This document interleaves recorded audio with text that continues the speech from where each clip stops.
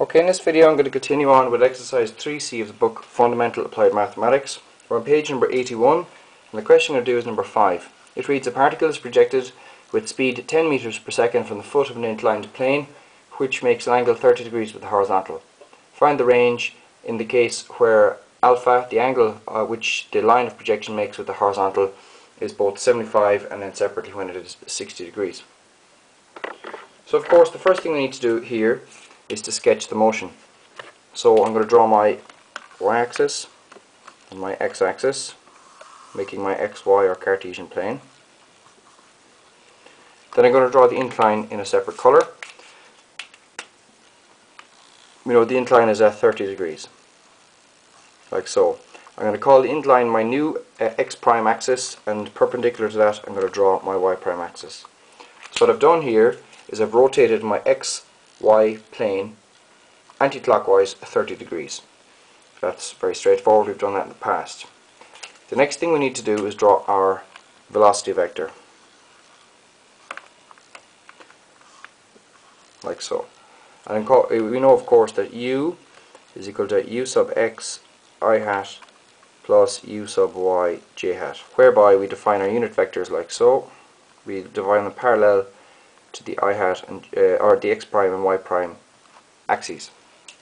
So we need to resolve the unit the, the vector u into its component unit vectors. And how we do that is by drawing the two vectors which when added together create that vector and they must be parallel to the x prime and y prime plane. So draw there and there. So this vector here is u sub x, this vector here is u sub y, and we're going to leave it at alpha for the moment. So it's going to be this is going to be u cosine of alpha. This is going to be u sine of alpha. This will be j hat and this will be i hat and that's the general case. So the next thing we need to do is draw our u vast and put in the information that we know. The x prime y prime.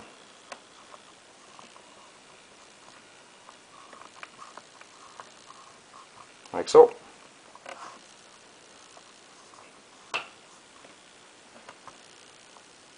Yeah, that's okay there. So we know that u sub x is equal to u cosine alpha and u sub y is equal to u sine alpha like so. So we can get rid of everything regarding the velocity vectors because we've now sorted that out. Alright, so I'll get rid of all this. Just bear with me a moment now and I get rid of it all. So the next thing we need to do is resolve our gravity vector.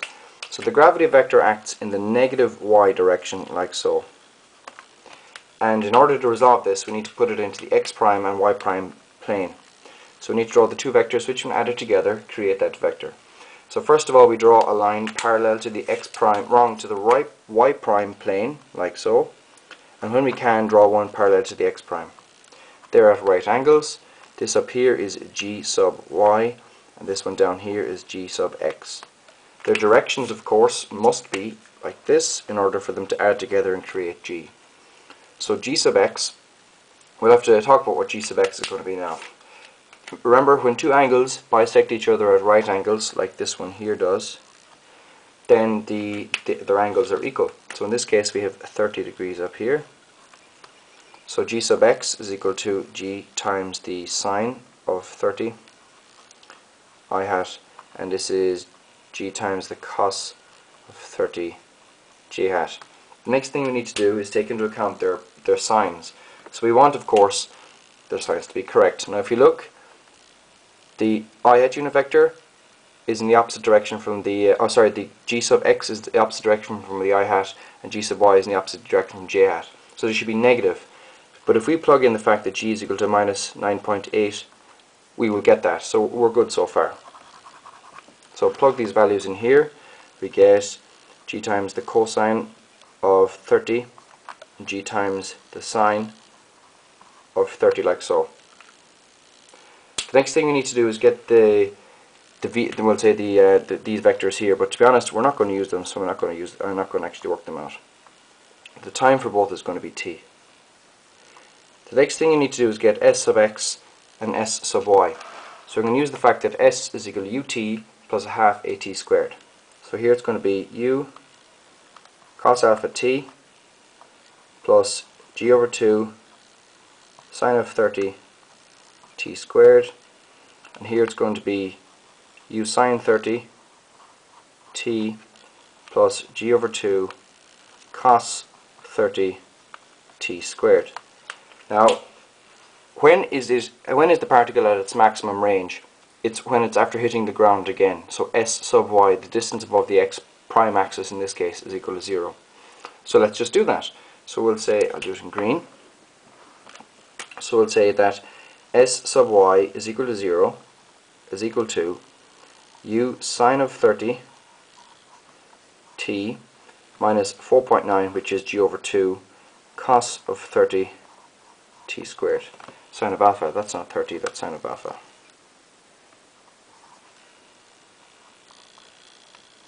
like so. Alright and this of course is a polynomial of degree 2 which is a quadratic.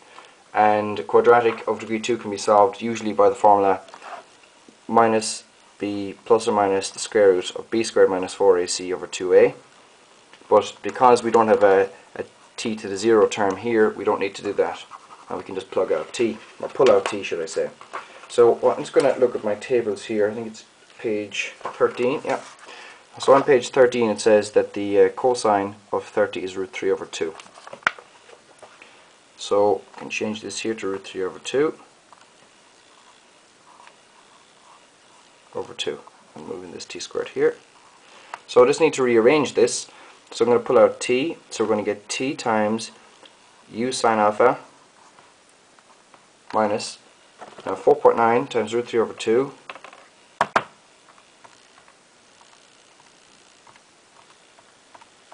is that there.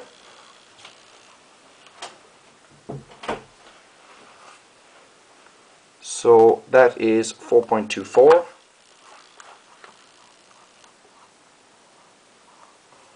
And we know that's equal to 0.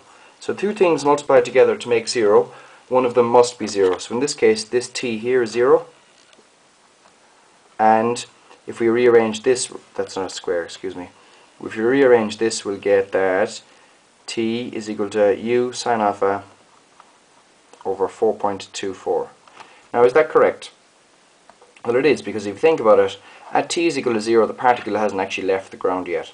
So that's correct. So we must this this this expression here must be the expression for when the particle is at its maximum range. So I'm just going to note that here. Uh, u sine alpha over 4.24.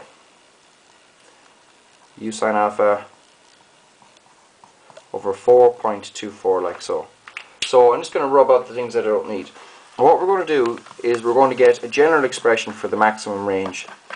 And by doing this we're going to plug in the value for t into the maximum range here. So s sub x is equal to u cosine alpha like so times t. And t is u times the sine of alpha over 4.24 g over 2 is minus 4.9 now the sine of 30 if you look in your tables on page 13 is a half so there's the half there times t squared. So we need to square this. So we get u squared sine squared alpha over 4.24 to be squared. So we'll square that there one second. So 4.24 to be squared is equal to 18 like so and this is the general expression for the uh, for, for the maximum range so I'm just going to get rid of the the we'll say the, the decimals. So we know of course that u is equal to 10, we're given that in the question. So this becomes a square, this becomes 100. So uh, well, 100 divided by 4.24 is equal to 23.58, say 23.6 cos alpha sine alpha. And then we have 100 multiplied by 4.9 divided by 2 divided by 18 and we get 13.61 sine squared alpha. And that is the final expression we need for the maximum range s sub x max. Alright so the thing is now we need to just plug in our final figures. So we know of course that the angles of projection were 75 degrees and 60 degrees against the horizontal. Now that's important. So if we go back to our, our horizontal over here, I'll just get rid of the things that just clutter up our diagram. Alright, so in this case, we'll say u is this direction and we call it this alpha. So alpha is against the uh, is against the x prime axis, but we're given alpha against the horizontal. So we need to take, of course, 40 or 30 degrees away away from both answers. So 75 becomes um, sorry 45, and 60 becomes 30 degrees. So instead of plugging in these two values, we plug in both 45 degrees and 30 degrees. So let's just go down here. So we have 45 degrees and 30 degrees. So let's just plug them in. So we get 23.6 multiplied by the cos of, let's say 45 first, multiplied by the sine 45, giving an answer of 11.8 minus, now sine squared alpha, so I'm going to say sine of 45, I'm going to square that and multiply that by point or by 13.61 getting an answer of 6.8 and that's equal to the answer of course then becomes 4.995 or we'll say 5 meters. Alright so the next thing to do is check that answer in the back of the book. So we're on exercise 3c question 5 3c question 5 it is 5 isn't it?